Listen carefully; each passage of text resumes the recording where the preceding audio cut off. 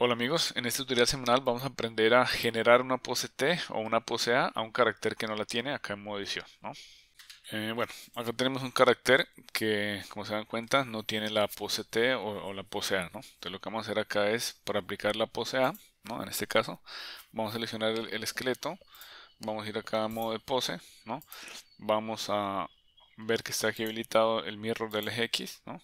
vamos a poner con R al carácter en la posición que queramos, en este caso hacer una pose A, no hacer una pose T, más o menos ahí.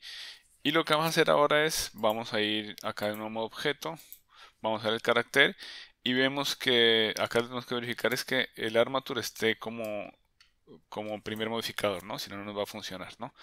Eh, vamos aquí a esta parte y le damos duplicar. Y a, esta, a este primer armature que, se, que quedó le damos apply, ¿no?